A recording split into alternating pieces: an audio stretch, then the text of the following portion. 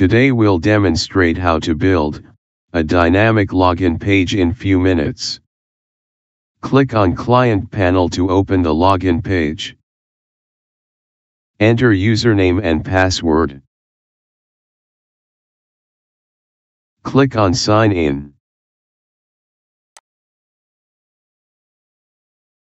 Let's do this in our web series project.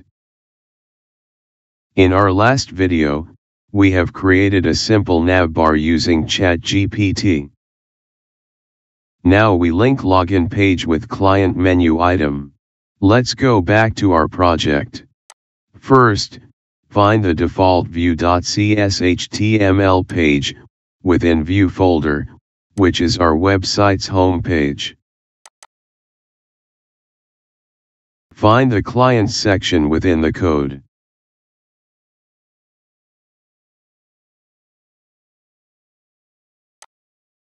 Add my login to the ASP controller.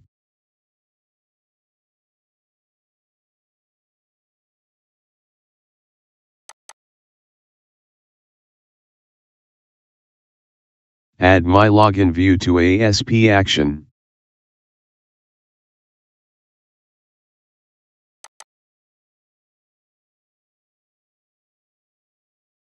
This actively means that whenever a user clicks on a client menu item,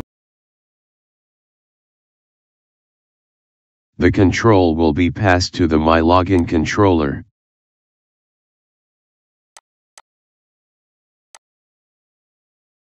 In the MyLogin controller, which we will create next.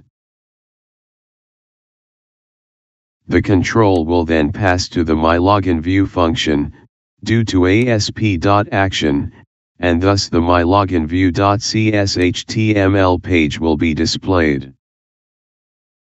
Let's create the MyLogin controller, navigate to the controller folder.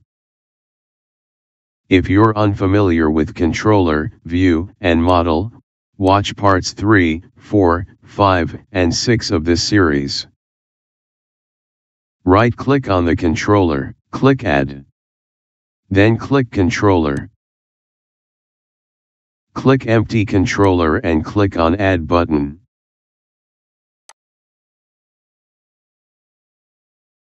Name it My Login Controller.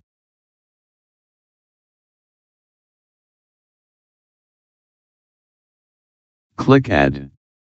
Navigate to the controller folder.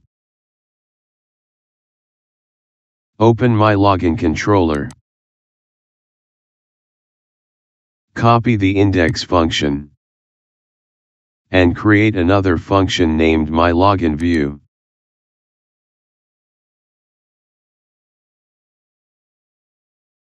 Remember, the name of controller and function, within controller must be the same. Specified in ASP controller and ASP action. Now, right-click on MyLoginView to create a new view. Click on Add View. Click on Razor View Empty. Name the view as My Login View.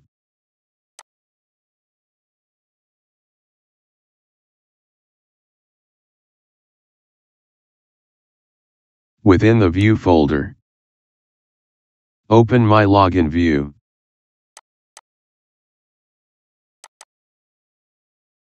And add your HTML and Bootstrap code here for login page. No need of writing any code, just open ChatGPT. Enter command. Generate HTML and Bootstrap code for a login page. With two text fields, one for username and one for password, incorporate all these into a card container.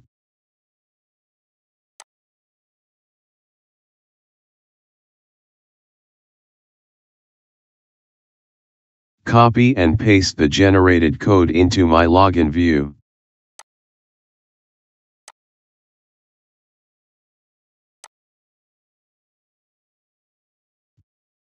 Run the application.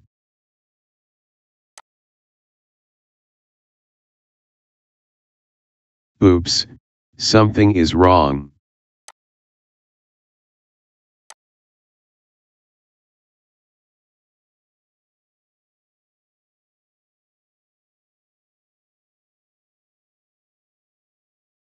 Now check. Click on Client to view your login page.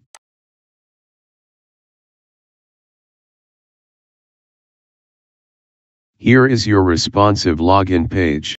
We will discuss the database connectivity, and the rest in next video. Stay with us, and thanks for watching the video.